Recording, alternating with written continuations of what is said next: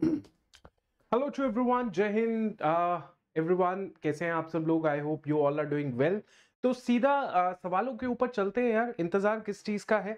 आई uh, hope आपको जो मैंने इंपॉर्टेंट चीज़ें बताई हैं uh, उसको फॉलो कर रहे हो। That is revision is the most important thing that you have to go for right अभी रिविजन करो और जो जो समय मिलता है उसमें मॉक टेस्ट प्रैक्टिस करते रहो।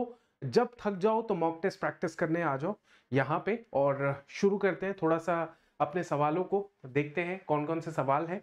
तो बहुत सारे सवाल हमने कल कर लिए थे। आई होप आपने उन सवालों को समझा और पढ़ा होगा। और आज जो है, हम लोग और एक्स्ट्रा सवालों को सॉल्व करने वाले हैं। चलिए तो शुरुआत करते हैं अपने कुछ और क्वेश्चन के साथ। जैसे कि फॉर एग्ज़ाम्पल ये वाले सवाल का उत्तर दीजिए और यहाँ से हम लोग शुरू करते हैं अपने नेक्स्ट क्वेश्चन को। आ जाओ, जल्दी से जल्दी आ जाओ। जितने भी बच्चे हैं, फटाफट क्लास को ज्वाइन कर लो और आपके सामने ये कुछ क्वेश्चंस है, जिनका आंसर आपने देना है। ठीक है? जल्दी, शाबाश। Okay so what is the correct answer of this particular question बेटा सिंपल चीज़ है, ध्यान से समझो, देखो। देखो, ये सब तो समझ आ गया था, हमें लास्ट क्लास में ही हमने ये पढ़ लिया था कि भाई बंगाल नहीं है it is obviously the Bombay right it is obviously the Bombay जो कि ब्रिटिशर्स की कमर्शियल कैपिटल बन गई थी। बट अंडरस्टैंड कि ये एनसीआरटी में लिखा हुआ है कि why Bombay was by why Bombay was so important for Britishers so important for Britishers for Britishers right ये हमें समझना है कि क्यों बॉम्बे इतना इंपॉर्टेंट था ब्रिटिशर्स के लिए।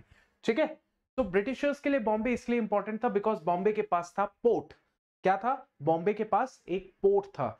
अब ये जो पोर्ट है, बॉम्बे पोर्ट ये पोर्ट कनेक्ट करता है बॉम्बे को रेस्ट ऑफ़ द वर्ल्ड के साथ। और ब्रिटिशर्स अल्टीमेटली ट्रेडर्स थे और ट्रेडर्स बन के रहे। इसीलिए बॉम्बे पोर्ट की मतलब ट्रेडिंग चीज़ों की यू नो एक ऐसी जगह तो चाहिए ना जहाँ पे वो माल जो है, अपना रॉ मटेरियल है फिनिश गुड है, उसको ले जा सके खरीद सके, बेच सके, इस तरीके से सारा सिस्टम था। ठीक है बच्चे? Right yes yes yes absolutely correct चलो, आगे चलते हैं बच्चे। और इसका आंसर क्या है? सिंपल है। आप पढ़ चुके हैं, इसका आंसर क्या है राइट हाँ जी। इसका आंसर मुझे बता दीजिए, फिर उसके आगे हम लोग चलते हैं। थोड़ा सा वार्म अप कर रहे हैं तो जितने भी बच्चे हैं, जल्दी से जल्दी आ जाओ। यस यस यस शाबाश। बताइए what should be the correct answer क्या करेक्ट आंसर होगा इसका? क्या लगता है? सर इसका जो आंसर होगा that would be your C option वो कौन सा आंसर है? वो सी है। हाँ जी बेटा सी ऑप्शन आपका सही है। देखिए, जो टाउन प्लानिंग थी, आप याद रखिएगा टाउन प्लानिंग उस टाउन प्लानिंग के अंदर मैं आपको बता दूँ, सबसे पहले इसकी शुरुआत हुई बंगाल से, ठीक है? बंगाल से टाउन प्लानिंग की शुरुआत हुई। Bengal was a commercial Bengal was a presidency town of for the Britishers also right अब बंगाल में सबसे पहली जो टाउन प्लानिंग हुई, वो क्या थी? आप मुझे बता सकते हैं? दैट वॉज़ बेसिकली ब्रिटिशर्स ने जो पहली टाउन प्लानिंग की बंगाल के अंदर, वो थी white town and black town में सेग्रीगेशन करना। समझे? व्हाइट टाउन और ब्लैक टाउन में सेग्रीगेशन करना। ब्लैक टाउन में इंडियंस रहेंगे तो व्हाइट टाउन में हम लोग रहेंगे यूरोपियंस रहेंगे। समझे? और दूसरी जो टाउन प्लानिंग थी, वो थी सिविल लाइन को स्टैब्लिश करना। क्या थी? सिविल लाइंस है ना? आपने अपने नज़दीक जगहों पे, जहाँ पर भी आप रहते हैं, वहाँ पे आपने ये जगह ज़रूर सुनी होगी। सिविल लाइंस दिल्ली में भी है और ज, बा, बाकी जगहों पे भी सिविल लाइंस आज के समय है। तो ये सिविल लाइंस का कॉन्सेप्ट क्या था? ये बहुत इंपॉर्टेंट है। आपके एग्ज़ाम पॉइंट ऑफ़ व्यू से बहुत ज़्यादा इंपॉर्टेंट है। क्योंकि आपके आ, बुक में सीधा सीधा लिखा हुआ है कि why Britishers establish the civil lines why Britishers establish the civil lines कोई बता सकता है कि ब्रिटिशर्स ने सिविल लाइंस को क्यों स्टैब्लिश किया? जल्दी बताना। अगर कोई बताना चाहता है, बता दो, आपके पास 10 सेकंड का टाइम दूँगा मैं, उससे ज़्यादा टाइम नहीं मिलेगा। जल्दी बता दो बेटा, सिविल लाइंस ब्रिटिशर्स ने क्यों स्टैब्लिश किया? ये किताब में बहुत स्पेसिफिकली लिखा हुआ है। सिविल लाइंस ब्रिटिशर्स ने क्यों स्टैब्लिश किया? ठीक है? जल्दी बताओ, किसी को आइडिया है? चलो, मैं आपको बताता हूँ एक सिंपल लाइन में। To protect to protect themselves protect themselves from from natives natives का मतलब क्या होता है मेरे भाई? नेटिव्स का मतलब होता है जो इंडियंस है, उनकी बात की जा रही है। तो इंडियंस जो थे, मैं आपको बताना चाहता हूँ कि इंडियंस से ब्रिटिशर्स थोड़ा सा खौफ खा रहे थे। खौफ क्यों खा रहे थे? क्योंकि इंडियंस ने एक बहुत तगड़ा रिवोल्ट जो है वो ब्रिटिशर्स को दिया था। विद्रोह जो है ब्रिटिशर्स को किया था। बहुत तगड़ा। 1857 का जो विद्रोह था, उसमें अंग्रेज़ तो जीत गए, लेकिन अंग्रेज़ों की आत्मा जो है कांपना शुरू हो गई। अंग्रेज़ों ने सोचा कि ये इंडियंस जो है, एकदम से हमारे ऊपर कैसे टूट पड़े? कैसे? तो इंडियन ब्रिटिशर्स ने यही दिमाग लगाया कि यार इंडियंस तो हमारे बाजू में रहते थे ब्लैक टाउन में। अब हम व्हाइट टाउन में रहते, वो ब्लैक टाउन में। तो बीच में कोई डिवाइड करने की कोई मज़बूत सी जगह नहीं थी। इसीलिए जितने भी ब्लैक टाउन के लोग थे उन्होंने व्हाइट टाउन पे आक्रमण कर दिया। सिंपल बात है। तो अब हमें क्या करना पड़ेगा? सिविल लाइन का क्या कॉन्सेप्ट था कि अब हमें ऐसी जगह जाना पड़ेगा जो बहुत ही खाली मैदान हो और जहाँ पे हम लोग अपना आ, इंडियन से थोड़ा सा दूर रह पाए थोड़ा डिस्टेंस हो। पहले क्या था? साथ ही साथ थे। बस सेग्रीगेशन ये था कि वो व्हाइट टाउन ब्लैक टाउन था। लेकिन अब क्या है? कि हम लोग ऐसी जगह पे जाएँगे जो कि खाली मैदान हो, जहाँ पे खुला मैदान हो और जहाँ पे क्या हो इंडियन से थोड़े से दूर रहे। तो इसीलिए बेटा सिविल लाइंस को स्टैब्लिश किया गया। सिविल लाइंस एक्चुअली वो जगह थी जहाँ पे पहले किया जाता था एग्रीकल्चर ठीक है, ये सवाल भी पूछा जा सकता है। एग्रीकल्चर एंड आपके ये जो सिविल लाइन थी, ये पास्चर लैंड भी थी। पास्चर लैंड का मतलब होता है आपकी जहाँ पे चरागाह, जहाँ पे पशु जो है चरते हैं। तो वैसी वैसी जगह को खाली करा के सिविल लाइंस को स्टैब्लिश किया गया। आई होप आप समझ पा रहे हो, बिकॉज़ ये सवाल आपका डेफिनेटली इंपॉर्टेंट सवाल है, ठीक है? चलिए, मुझे एक बार कंफर्म कर दो, सबको समझ आया कि नहीं आया? मुझे एक बार कंफर्म कर दो, सबको समझ आया कि नहीं आया? यस ओके परफेक्टली फाइन आगे चलते हैं। नेक्स्ट क्वेश्चन आपकी स्क्रीन के ऊपर, ये रहा। बताइए, क्या आंसर है? क्या आंसर है इसका? जल्दी बताना इसका। ठीक है? इसका आंसर बता दो जल्दी से जल्दी। What should be the correct answer बताओ।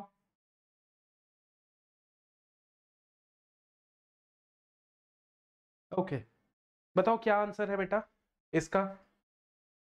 ढाका, मद्रास, सूरत। क्या आंसर होगा? Which of the following commercial centres decline during the colonial rule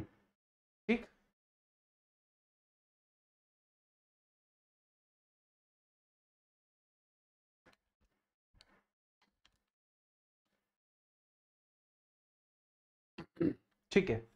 तो देखिए which of the following commercial centres decline during the colonial rule it is it is your Dhaka for sure जो मैंने आपको कल बताया था। One तो hundred percent है और टू नहीं होना चाहिए। तो टू नहीं होगा नहीं होगा आपका सी ऑप्शन आ जाएगा। देखो एलिमिनेशन से हमने सी ऑप्शन टिक कर दिया और विच इज़ राइट ऑल्सो ठीक है बच्चे? आगे चलते हैं। आ, हाँ ये सब क्वेश्चंस तो हमने कल ही कर लिए थे। है ना? तो कुछ कुछ क्वेश्चन आपसे मैं आ, वो भी कर रहा था कि कंफर्म कर ले आपको आए कि नहीं आए। ठीक है बच्चे? चलो।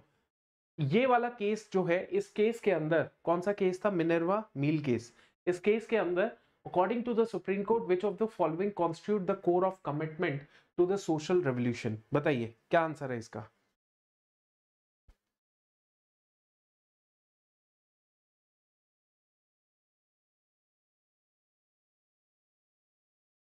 क्या आंसर होगा बेटा?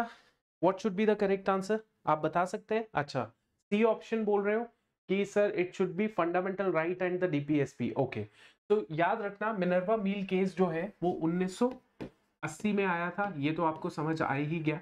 इस केस के अंदर दोनों fundamental right and your DPSP दोनों की बात की गई थी। फंडामेंटल राइट एंड डीपीएसपी की बात की गई थी। और दोनों को कंसिडर किया गया था that these are the bedrock bedrock of the constitution, bedrock of the constitution. ठीक है? देखिए, अगर आप सामाजिक एक क्रांति लाना चाहते हैं तो आपको फंडामेंटल राइट और डीपीएसपी दोनों को अपने सामने उनको इंपॉर्टेंस देनी पड़ेगी।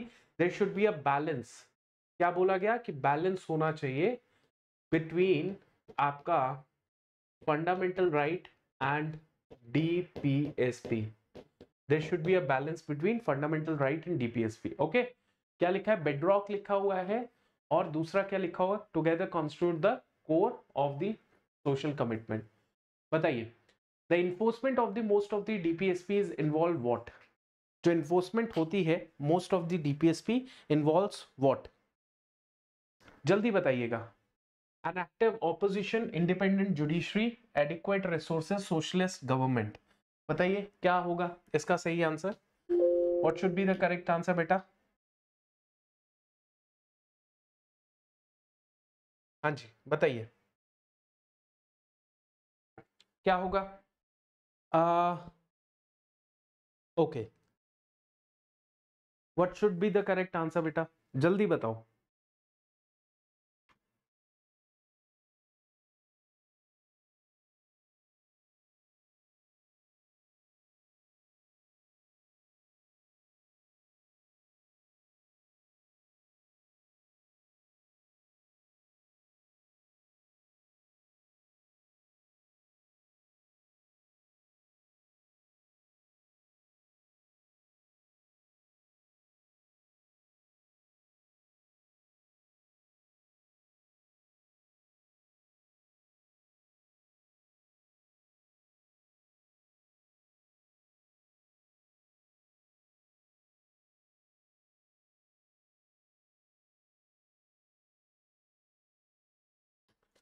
जी।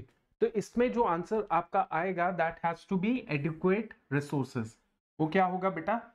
That has to be adequate resources ठीक है? अब देखिए, बहुत सिंपल सी चीज़ है कि डीपीएसपी में आपको जो भी बातें लिखी गई हैं DPSP comes under part fourth of the constitution part fourth of the constitution article 36 से लेके 51 तक। 36 से लेके 51 तक। और इस डीपीएसपी के अंदर वो बातें की गई है सो so दैट अगर इस इन पॉलिसीज़ को फॉलो uh, किया जाए तो we can make a better society we can make a better society मतलब एक अच्छा समाज बनाने के लिए हमारे को डीपीएसपी जो है वो ज़रूरी होते हैं। एक अच्छा समाज बनाने के लिए we need to have DPSP ठीक है? अब इनको आप there is no obligation no obligation to enforce them ठीक है? No obligation on the state obligation on the state to enforce them on state to enforce them understand तो enforce किए भी जा सकते हैं बट वो इन्फोर्स किए जा सकते हैं जब स्टेट के पास, जब स्टेट के पास state have adequate resources state have adequate resources बात खत्म। इतनी सी बात है। इतनी सी बात है, जब स्टेट के पास एडुकेट रिसोर्सेज हो। समझे कि नहीं समझे? है ना? तो यहाँ पे कुछ बच्चे ये कह रहे हैं कि व्हेन इंडिपेंडेंट ऑपोजिशन ये कुछ अलग अलग बातें कह रहे हैं, लेकिन there should be simple line जहाँ पे बोला गया है कि आप इनको वो कर सकते हो। क्या कर सकते हो? आप इनको इंप्लीमेंट कर सकते हो इन्फोर्स कर सकते हो provided you have the adequate resources अगर नहीं है, पैसा नहीं है रिसोर्सेज नहीं है तो आप मत कीजिए, कोई दिक्कत नहीं आएगी। ठीक है बच्चे? ओके क्लियर हो गया? ओके नेक्स्ट क्वेश्चन आपकी स्क्रीन के ऊपर ये रहा। बताइए, क्या आंसर होगा इसका?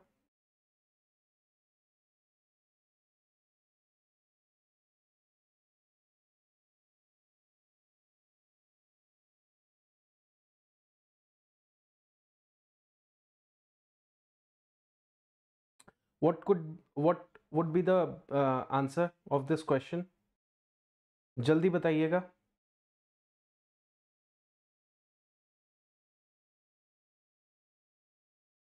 हाँ जी तो इसका आंसर क्या है बेटा which one of the following is promotion of international peace and security mentioned in the constitution of india ये पेपर में आ भी चुका है पहले भी प्रीवियस क्वेश्चन सीडीएस में आया इंडिया में आया इस तरीके से तो प्रीएम्बल डीपीएसपी फंडामेंटल या फिर फंडामेंटल ड्यूटीज़ आपका आंसर क्या आ गया? Sir it has to be DPSP article 51 जो है आर्टिकल 51 जो कि डीपीएसपी है, वो इस चीज़ के बारे में बोलता है। That is promotion of international peace and security ठीक है? वो आर्टिकल 51 कहता है। कौन कहता है? 51 ठीक है? So that is B option DPSP next is ये तो कर लिया हमने सवाल? हाँ इसका आंसर दीजिएगा।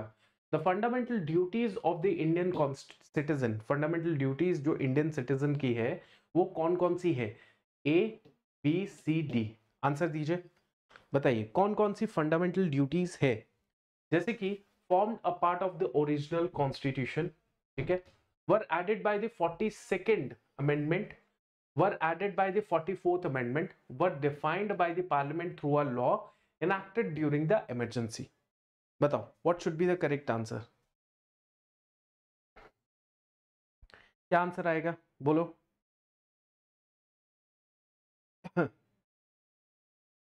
हाँ इसमें आप बताइए क्या आंसर आएगा? हम्म। हाँ इसमें क्या आंसर होना चाहिए?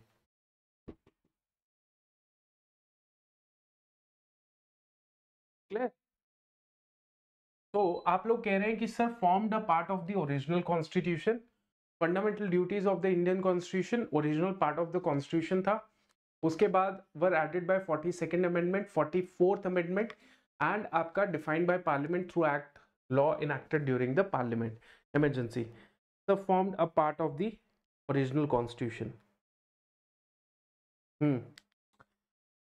यार, आप लोग मज़ाक मत करो, हैं? आप लोग गलत आंसर दोगे तो गलत हो जाएगा ना। मतलब इट्स वेरी रॉन्ग है ना? यार देखो fundamental duties were not the part of the original constitution बताओ, थी कि नहीं थी? बिल्कुल नहीं थी यार। जो इंदिरा गांधी थी, उनकी सरकार जो है फोर्टी सेकेंड कॉन्स्टिट्यूशनल अमेंडमेंट जब लेकर आई तो तब उन्होंने बोला कि जो काम हमारे ओरिजिनल कॉन्स्टिट्यूशन मेकर जो थे, उनको करना चाहिए, वो आज हमने किया है। वो आज हमने किया है। ठीक है? जो काम हमारे कॉन्स्टिट्यूशन मेकर्स को करना चाहिए था, वो हमने किया है बिकॉज़ हम जो है, अपने इस अमेंडमेंट के माध्यम से फंडामेंटल ड्यूटीज़ को लेकर आ रहे हैं। तो were added by forty second amendment of the constitution forty second amendment of the constitution 1976 1976 11 fundamental duties हैं, जिसको कॉन्स्टिट्यूशन में कहाँ पे जगह मिली है? इसको मिली है आर्टिकल 51 ए में। आर्टिकल 51 ए जो है, वो ऐड हो गया था 1976 में। 1976 में 51 ए ऐड हो गया था और इनफैक्ट पार्ट फोर ए जो है, वो भी ऐड हो गया था। पार्ट फोर ए भी ऐड हो गया था। ठीक है? क्लियर हो गया? Right right? चलिए। फंडामेंटल ड्यूटीज़ ओके चलो। अब आप सोच रहे होंगे कि सर क्वेश्चंस तो खत्म हो गए। बेटा क्वेश्चंस खत्म नहीं हुए। क्वेश्चंस बहुत सारे हैं। वो आपने टेंशन नहीं लेनी है, ठीक है? There are so many question don't worry okay आ जाओ।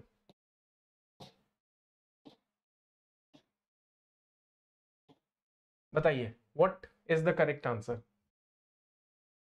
हर चैप्टर से सवाल होगा पॉलिटी का। बताओ, जल्दी बताओ बट थोड़ा सुपर फास्ट तरीके से होना चाहिए। Who was chosen as the interim president of the constituent assembly in its first meeting held on december 9 1946 first meeting में कौन इंटरिम प्रेसिडेंट सेलेक्ट हुआ था? फ़र्स्ट मीटिंग में इंटरिम प्रेसिडेंट कौन सेलेक्ट हुआ था? बताओ टेम्पररी तो it was doctor Sachchidanand Sinha ठीक है? फिर अल्टीमेटली जो परमानेंट प्रेसिडेंट बने, वो आप सभी को पता है डॉक्टर राजेंद्र प्रसाद। ठीक है? Doctor Rajendra Prasad after that right हाँ। अब ये जो इंफॉर्मेशन है, वो आपको याद नहीं होगी या पढ़ी होगी तो भूल गए होंगे।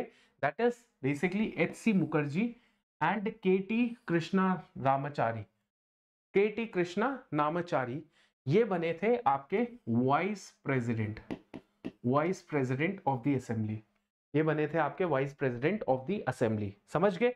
चलो, आगे चलते हैं। Was the chief draughtsman of the constitution in in in the constituent assembly? Chief draughtsman कौन बना था? बताओ, जल्दी बताना। तो इसका क्या आंसर है? चीफ ड्रॉट्समैन कोई है आंसर आपका? हम्म बताइए। What should be the correct answer who was the chief draughtsman तो ये अंकल जो थे, वो तो आपके एडवाइजर थे। एडवाइजर कॉन्स्टिट्यूशन एडवाइजर कॉन्स्टिट्यूशन के एडवाइजर ठीक है? तो यहाँ पे चीफ ड्रॉट्समैन जो है, बताइए कौन, क्या आंसर है? नहीं। बताइए।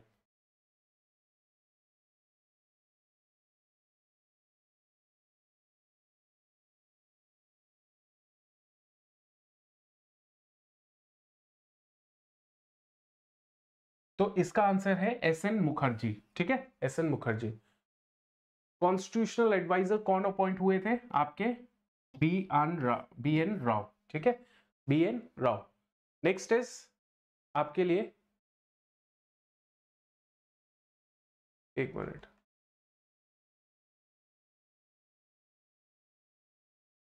Hmm. The preamble to the Indian Constitution was inspired by the preamble of the Constitution of what? मतलब जो प्रियम्बल है हमारे संविधान का, वो किससे इंस्पायर्ड है? आप आंसर देंगे? बताइए। The preamble of the Indian constitution inspired by the preamble of what हाँ?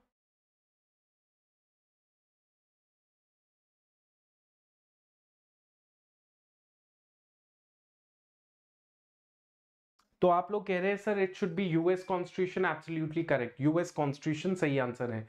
Which of the following is not a part of the preamble of the Indian constitution preamble of the Indian constitution का कौन part नहीं है? बताइए। Preamble of the Indian constitution का part कौन नहीं है? जल्दी बताइए। सोशलिज्म डेमोक्रेटिक सेक्युलरिज्म या फेडरलिज्म बताइए। हाँ? Good good good good. Shabash, it is not the part. Federalism nowhere mentioned in the constitution. इस, इन तीनों में से कौन सा है जो ओरिजिनली मेंशन नहीं था? सेकुलरिज्म जो है, वो ओरिजिनली मेंशन नहीं था. सेकुलर वर्ड कब ऐड किया? आपका फोर्टी सेकेंड अमेंडमेंट से 1976 में. ठीक है? ओके आगे चलते हैं. Which of the following words was inserted in the preamble by constitution? ठीक है? बताइए। कौन से वर्ड्स हैं जो कॉन्स्टिट्यूशन में which of the following words inserted in the preamble by constitution forty second amendment बताइए।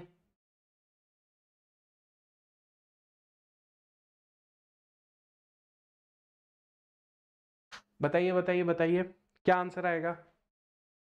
क्या आएगा? तो आप सभी कह रहे हैं बच्चे socialist yes we were socialist in nature from the very first beginning हम लोग सोशलिस्ट थे इन नेचर से। हमारा कॉन्स्टिट्यूशन सोशलिस्ट था from beginning only from the very first day very first day लेकिन हमने कभी ये सोशलिस्ट आइडियोलॉजी अपने कॉन्स्टिट्यूशन में नहीं लिखी। ये भी बेटा फोर्टी सेकेंड अमेंडमेंट के माध्यम से ही सोशलिस्ट वर्ड इंसर्ट किया गया। बताइए, किसे कहा जाता है? The very heart and soul of the constitution बताइए what should be the correct answer the very heart and soul of the Indian constitution किसे कहा जाता है?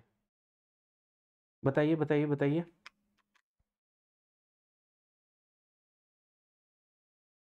हम्म।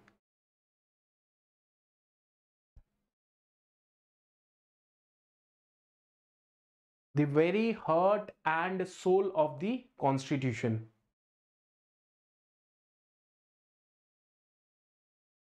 हम्म देखिए, वो है आपका फंडामेंटल राइट्स दिए हैं तो वो इसीलिए दिए हैं क्योंकि वो फंडामेंटल टू ह्यूमन बीइंग है। जैसे ही इंसान पैदा होगा, उसको फंडामेंटल राइट्स मिलेंगे। लेकिन उन फंडामेंटल राइट्स को बचाने के लिए कोई तो चीज़ होनी चाहिए ना हमारे कॉन्स्टिट्यूशन में। Is itself is a fundamental right article 32 article 32 अगर ये आर्टिकल 32 डिलीट कर दिया जाता है, या छीन लिया जाता है, या कुछ भी रिमूव कर दिया जाता है तो आपके जो फंडामेंटल राइट्स है, उनको देने का कोई मतलब ही नहीं है। समझे? तो इसीलिए आपका आर्टिकल 32 जो है, वो heart and soul of the constitution है। Heart and soul of the constitution ठीक है? चलिए।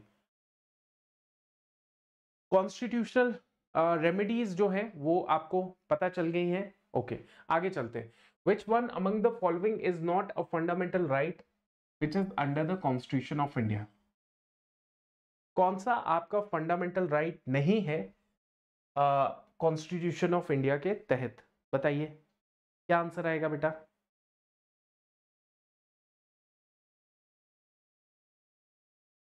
बताइए बताइए बताइए। Which one among the following is not a fundamental right under the Constitution of India? बताओ right to equality, right to freedom, right to citizenship, right against exploitation. Quickly answer this. What do you think? हम्म तो समझ तो आपको आ ही चुकी है citizenship article 5 से लेके 11 तक आता है बाकी इक्वालिटी फ्रीडम एंड एक्सप्लोइटेशन ये सारे फंडामेंटल राइट्स है citizenship is not a fundamental right समझ गए? चलिए, आगे चलते हैं। आपके सामने स्क्रीन के ऊपर ये रहा सवाल। क्या बोला गया है? कि according to the constitution of India which of the following are fundamental for the governance of the country Bharat के संविधान के अनुसार कौन देश के शासन के लिए मौलिक है? Which of the following are fundamental for the governance of the country fundamental क्या है? जल्दी बताइए। अच्छा सवाल है। बताइए, क्या आंसर आएगा? According to the constitution of India which of the following are fundamental for the governance of the country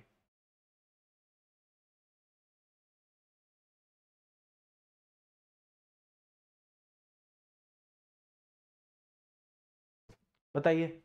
अब कॉन्स्टिट्यूशन जब आप पढ़ते हैं तो उसी में ही आपको लिखा आता है दैट ये फलानी चीज़ फंडामेंटल है for the governance of the country ठीक है? और वो चीज़ जो है, वो आपकी आती है direct principle of state policy वो क्या है आपका? डीपीएसपी वो क्या है बेटा? डीपीएसपी तो direct principle of state policy जो है that is your fundamental for the governance of the country समझ गए आप लोग? तो ये बहुत ही अंडरस्टैंडिंग है, ये सी एस सी दो हज़ार तेरह में आया है। तो आपको फंडामेंटल जो डीपीएसपीज हैं, उनको भी अच्छे से पढ़ना है। और मैं तो पॉलिटी हमेशा यही कहता हूँ कि पॉलिटी के वैसे तो सत्तर चैप्टर हैं, अगर लक्ष्मीकांत से देखें, जो कि इंपॉर्टेंट है और पढ़ने चाहिए। लेकिन सत्तर चैप्टर्स को अगर निचोड़ निकाला जाए तो लगभग ग्यारह चैप्टर बनते हैं, जो आपके बहुत ही ज़बरदस्त चैप्टर्स होते हैं, जहाँ से 90 परसेंट पॉलिटी पूछी जाती है 80 टू 90 परसेंट। वो 11 चैप्टर अगर आप पढ़ लेते हैं, जैसे पार्लियामेंट प्रेसिडेंट वाइस प्रेसिडेंट तो प्रेसिडेंट पढ़ लिया तो वाइस प्रेसिडेंट मैं चैप्टर नहीं गिनूँगा। मैं प्रेसिडेंट के साथ ही वाइस प्रेसिडेंट देख रहा हूँ, समझ गए? पार्लियामेंट के साथ मैं स्टेट लेजिस्लेचर देख रहा हूँ तो जाके वो 11 चैप्टर बनेंगे। पढ़ना हमने सब कुछ ही है, लेकिन उसको हम लोग ऐसे पढ़ेंगे कि प्रेसिडेंट जब पढ़ रहे हो तो वाइस प्रेसिडेंट तो पढ़ ही लोगे ना। पार्लियामेंट पढ़ रहे हो पार्लियामेंट को पढ़ने के लिए एक दिन लगेगा मतलब जिसने दो चार बार रिवीजन कर ली होगी। और उसी के साथ साथ वो स्टेट लेजिस्लेचर भी पढ़ सकता है। वैसे तो पार्लियामेंट जब मैंने खुद पढ़ा था लक्ष्मीकांत से तो मुझे कम से कम बारह दिन लगे थे एक चैप्टर को खत्म करने में, बारह दिन। लेकिन फिर कम कम कम कम करते करते मैंने तीन घंटे में पार्लियामेंट का चैप्टर भी पढ़ लिया था बिफोर द एग्ज़ाम्स है ना? तो वैसे ही, और स्टेट लेजिस्लेचर कुछ भी नहीं है उसमें, कुछ चेंजेस हैं, बाकी सब कुछ सेम ही है। सुप्रीम कोर्ट पढ़ रहे हो हाई कोर्ट में ज़्यादा डिफरेंसेस नहीं है। तो इस तरीके से पॉलिटी आपको कवरेज करनी चाहिए। ठीक है? अब जैसे फॉर एग्ज़ाम्पल आपका कॉन्स्टिट्यूशनल नॉन कॉन्स्टिट्यूशनल बॉडी है। तो कॉन्स्टिट्यूशनल जो बॉडीज हैं, वो पढ़ ली तो नॉन कॉन्स्टिट्यूशनल में ज़्यादा डिफरेंसेस नहीं है, बहुत लिमिटेड डिफरेंसेस है। कॉन्स्टिट्यूशनल बॉडीज में एक पैटर्न फॉलो किया जा रहा है तो नॉन कॉन्स्टिट्यूशनल में दूसरा पैटर्न फॉलो किया जा रहा है। वो पैटर्न पकड़ लोगे तो अच्छा आपका आंसर मतलब अच्छा अंडरस्टैंडिंग होगा। What is the position of the right to the property in India क्या है ये? बताइए।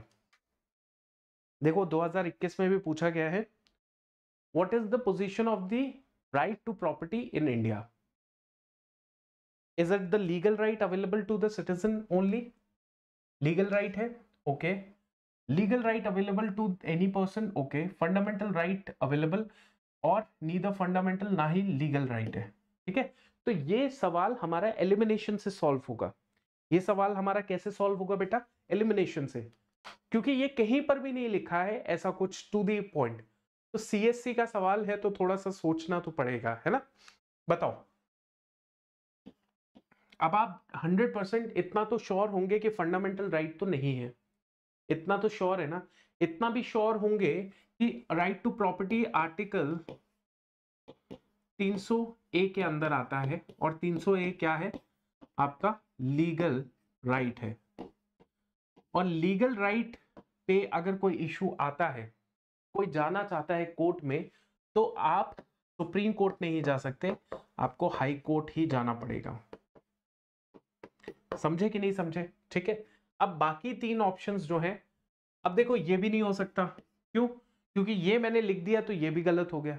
अब ये, ऐसा सवाल आ गया आपके सामने, जहाँ पे 50 50 परसेंट चांस है। 50 50 परसेंट चांस है। तो अब हमने इस सवाल को अटेम्प्ट ज़रूर करना है, लेकिन एकदम से नहीं करना। अगर मैं आपकी जगह होता तो मैं अब बस ये दो सवाल डिलीट मतलब वो कर दिया रिजेक्ट कर दिया। दो में डाउट है, दो को दोबारा से पढ़ूँगा। अगर मेरे को क्लिक कर गया तो मैं उसी टाइम सॉल्व करूँगा, नहीं क्लिक किया तो मैं इसको छोड़ के आगे बढ़ूँगा और फिर दोबारा से जब फ़र्स्ट रीडिंग होगी मेरे सवालों की, तब मैं दोबारा से इस सवाल को देखूँगा। क्योंकि दिमाग में वो चल रहा होता है बैक इन द माइंड कि ये क्या होगा? फिर दिमाग दिमाग वैसे ही एक सेकंड में आंसर दे सकता है। ठीक है? बताइए what is the correct answer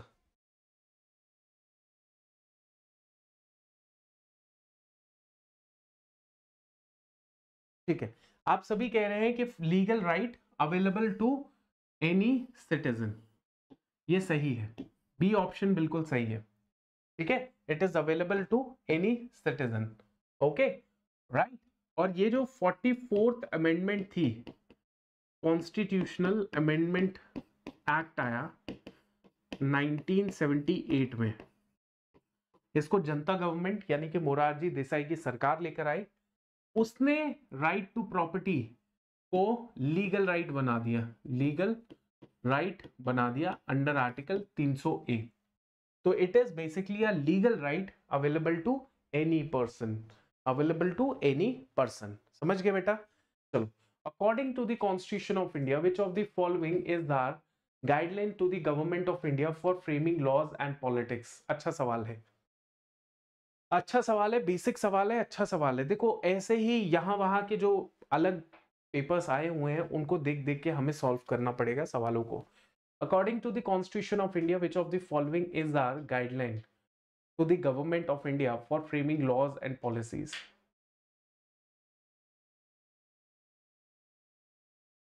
बताओ। अब देखो अच्छा सवाल है और मज़ेदार सवाल है। मतलब सोचना बनता है है ना? सोचना बनता है। सोचना बनता है। तो it is basically the guideline और गाइडलाइन जहाँ पे होती है, वहाँ पे डीपीएसपी की बात होती है। ठीक है? गाइडलाइन तो डीपीएसपी की बात होती है। समझ गए आप लोग? तो बेसिकली आप लॉज बना रहे हो पॉलिसीज़ बना रहे हो थोड़ा सा डीपीएसपी को मद्देनजर रखते हुए बनाओ। क्योंकि डीपीएसपी को लाने का ऑब्जेक्टिव यही है कि एक बेहतर समाज बनाना है। ठीक है बच्चे? ओके नेक्स्ट क्वेश्चन इंडिया का 2021 का सवाल है। देखो ऐसे तो सवाल रैंडम कोई भी कर लो, दुनिया जहान के सवाल है। लेकिन ये जो पीवाई क्यू सॉल्व करते हैं ना हम लोग तो एक फील आती है कि यार ये सवाल, ऐसा सवाल पूछा गया है, इतना इजी सवाल पूछा गया है, इतना मुश्किल सवाल पूछा गया है, इतना मॉडरेट सवाल पूछा गया है तो एक फील आती है कि यार नहीं, हमारा अगर हम सवाल को सॉल्व कर पा रहे हैं तो मतलब हम सही रास्ते में चल रहे हैं। अगर नहीं सॉल्व कर पा रहे तो देखो क्यों नहीं सॉल्व कर पा रहे उसका सोर्स क्या है? देखो, मैं भी आपकी तरह मतलब मैं तो आपको रिकमेंड यही करूँगा, क्योंकि कि आपने जब भी सवाल नहीं सॉल्व कर पा रहे हो, कौन सा सवाल? जो आपका पीवाई क्यू है तो अपना जो भी पीवाई क्यू सॉल्व नहीं कर पा रहे, उसका सोर्स देखो। सोर्स मतलब जो आपने पढ़ा वही सोर्स था, बस उसको रिकॉल नहीं कर पाए, या फिर सोर्स कोई और है, उसको देखो। अगर कोई और सोर्स है, क्या वो मुझे पढ़ना चाहिए था? अगर वो किसी किताब से दिया हुआ है डी बासु से पॉलिटी का सवाल पूछा है तो आप बोलो, सर डी बासु से पूछा हुआ है डी बासु उसकी सोर्स है। तो ऐसे मैं क्या ये बोलूँगा कि डी बासु पढ़ लू? नहीं, मैं बोलूँगा जो है आपका सोर्स, लक्ष्मीकांत, वही पढ़ना है। डी बासु पढ़ के तो वैसे तो दस किताबें पढ़ के आप सारे ही सवाल सॉल्व कर लो, लेकिन that is not logical in our case which one of the following is not part of fundamental right अब तो बता दो क्या आंसर है इसका। बता दो बता दो बता दो। शाबाश। हम्म। तो right to education is obviously fundamental right right to establish this is also titles और अगेंस्ट अनटचेबिलिटी तो this is not the right to be conferred with the titles अब जैसे आपने देखा हो ना, महाराजा, धीराजा बड़े बड़े टाइटल्स जो लिए जाते थे पहले, क्योंकि हमारे भारत में पहले बहुत सारी रियासतें थी छोटी छोटी बड़ी बड़ी साढ़े पाँच सौ के करीब रियासतें थी फाइव फिफ्टी थ्री तो वो जो रियासतें थी, अगर वो आज भी एग्जिस्ट करती तो भारत में जो इनक्वालिटी है, वो और ज़्यादा इनक्वालिटी हो जाती। क्योंकि आपको पता है वो राजा और ये सारा जो एक होता है माइंडसेट वो बेसिकली बाकी लोगों को उठने नहीं देता। तो इसीलिए ये आपका सही है टाइटल वाइटल नहीं होगा। नेक्स्ट क्वेश्चन आपकी स्क्रीन के ऊपर which one of the following categories of the fundamental rights incorporates protection against untouchability as a form of discrimination बताओ। कौन सा कैटेगरी ऑफ़ फंडामेंटल राइट है जिसमें आपको अनटचेबिलिटी की बात कही गई है? बताओ। What is the correct answer बताओ, जल्दी बताना।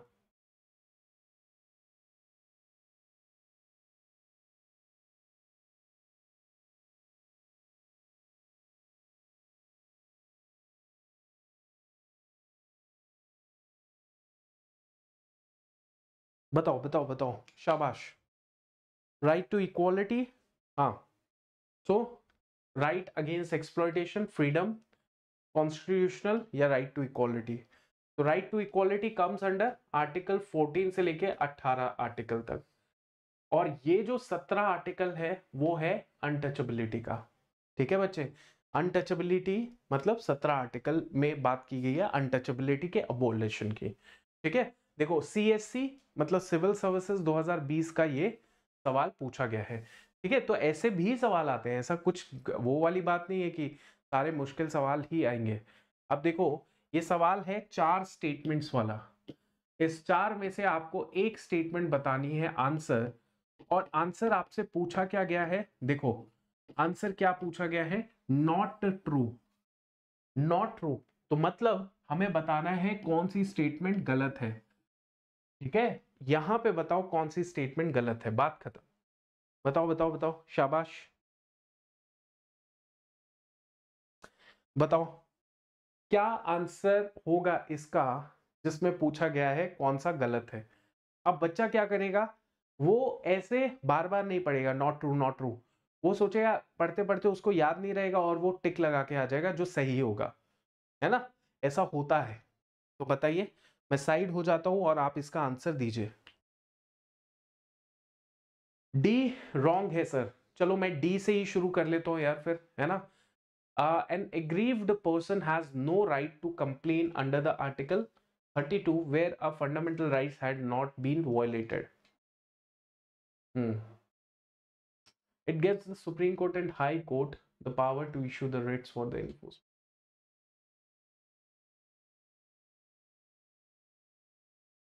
ठीक है, गलत बताना है।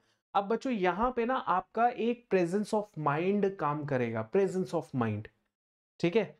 आप बड़े ही सुंदर सुंदर अच्छे अच्छे बच्चे हो, बहुत प्यारे बच्चे हो, मेहनत करते हो, लेकिन कई बार ऐसा होता है कि जल्दबाजी में गलत आंसर देते हो, जो बहुत सिंपल आंसर होता है। बड़ी बड़ी स्टेटमेंट देख के सोचते हो, अरे, मुश्किल होगा, बड़ा वाला सेंटेंस होगा तो उसको टिक कर देंगे। लेकिन बहुत सिंपल आंसर है। मैं तुम सभी से एक बार बोलता हूँ कि एक बार दोबारा से क्या पूछा गया? आर्टिकल 32 पूछा गया है। इसमें पूछा गया है कौन सा इनकरेक्ट है। ठीक है? एक बार दोबारा से बोलता हूँ कि दोबारा से देखो और समझो कि कहाँ पे कहाँ पे गलत है, कहाँ पे गलत है। और ये बताना है कहाँ पे सबसे ज़्यादा गलत है। यह भी नहीं कि कहाँ पे गलत है, सबसे ज़्यादा गलत है। बता दू। सीरियस का सवाल है।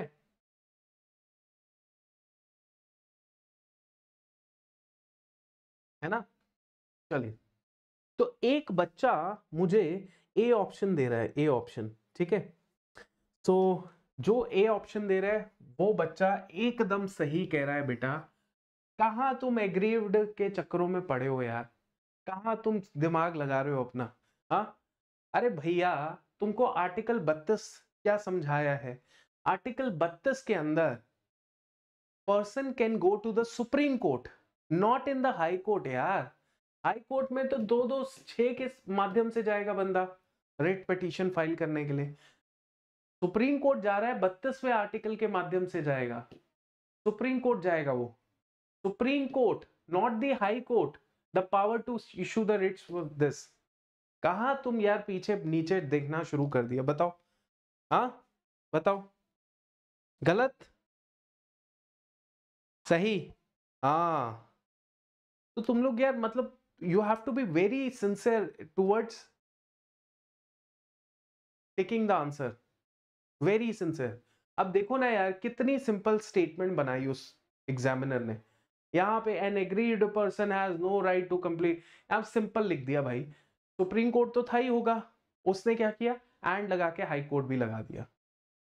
एग्जामिनर इतना महान नहीं है जिसने सवाल बनाया है। बहुत आस, आसान सवाल बनाया अगर कोई टिक करता देखता पढ़ता।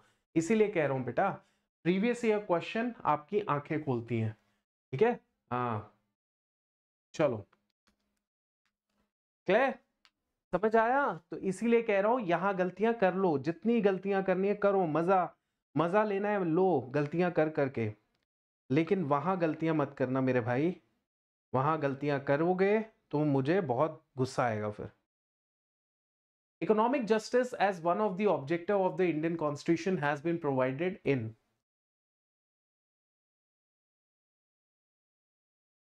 बताओ।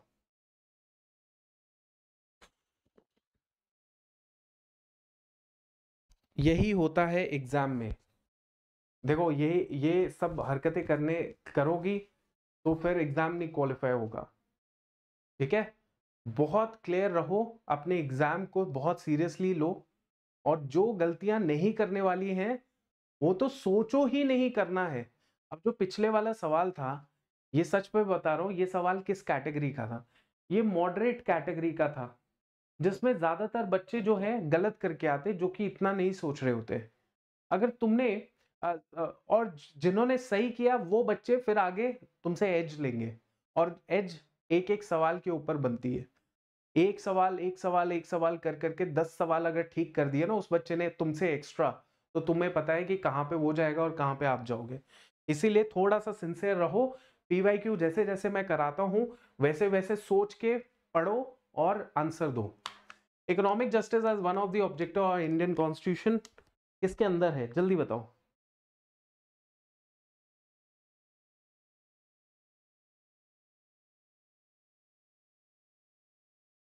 ठीक है? जल्दी बताओ शाबाश। क्या आंसर आएगा? I completely understand this is little difficult one but the answer is इसका कोई टेंशन नहीं है ये थोड़ा मुश्किल वाला है ठीक है? ये गलत हो जाएगा चलेगा कोई दिक्कत नहीं है। तो आपका जो आ, कौन सा है? हाँ आपका जो बी ऑप्शन है वो बिल्कुल सही है। क्योंकि प्रियम्बल में तो है ही है justice social economic and political justice की जो बात की गई है प्रियम्बल में वो सोशल इकोनॉमिक पॉलिटिकल की की गई है ये आप जानते होंगे। डीपीएसपी में भी की गई है। डीपीएसपी में आर्टिकल 38 जो है आर्टिकल 38 याद रखिएगा उसमें बोला गया है कि वहाँ पे आ, बोला गया है कि हर व्यक्ति को अपना सोशल इकोनॉमिक एंड पॉलिटिकल जो है वो आ, वो मिलेगा राइट मिलेगा। इस तरीके से कुछ बातें की गई है तो आपका बी ऑप्शन जो है बिल्कुल सही आंसर है। समझ गए? चलिए तो बच्चों हम लोग क्वेश्चन जा, मैं चुन चुन चुन के लेकर आऊँगा। आपको मैं बताऊँगा कि कहाँ आप गलतियाँ करेंगे और यही सवाल, हमारी नॉलेज को गेन करेंगे, वो उसमें कोई दो राय नहीं है। पर ये सवाल हमारे को पक्का करेंगे कि हम वो गलतियाँ ना करें जो मेजोरिटी ऑफ़ स्टूडेंट्स करते हैं। इनकरेक्ट को करेक्ट मान लिया करेक्ट को इनकरेक्ट मान लिया। वो देख लिया कि भाई बड़ी बड़ी स्टेटमेंट डर गए और उसमें गलत करके आ गए। वो देखा कि यार बड़ी स्टेटमेंट है तो माइंडसेट ऐसा है कि जो स्टेटमेंट बहुत आसान होगी, उसको पढ़ना है ज़्यादा। फिर कई बार क्या होता है, चार स्टेटमेंट दे रखी है, उसमें पहले में ही लगता है कि ये तो गलत है, तीस, तीन स्टेटमेंट पढ़ी नहीं। आपको तो फाइंड आउट करना है कि विच इज़ मोस्ट करेक्ट या मोस्ट इनकरेक्ट है ना? क्या पता है ये स्टेटमेंट करेक्ट है, लेकिन ये स्टेटमेंट उससे ज़्यादा करेक्ट हो। यूपीएससी में ऐसे स्टेटमेंट्स पूछी जाती है। और ये जो चीज़ होती है, ये बहुत कम बच्चे इंप्लीमेंट करते हैं, इसीलिए आपको ये चीज़ें गलत नहीं करनी है। डेली क्लासेस आते रहो। मेक श्योर sure कि चैनल में आए हो सेशन में आए हो, इतनी मेहनत की है आपने, मैंने आपके साथ लग के तो चैनल को मतलब वो लाइक वाइक कर दो सब्सक्राइब और लाइक कर दो और इस सेशन को लाइक ज़रूर करना कमेंट ज़रूर करना।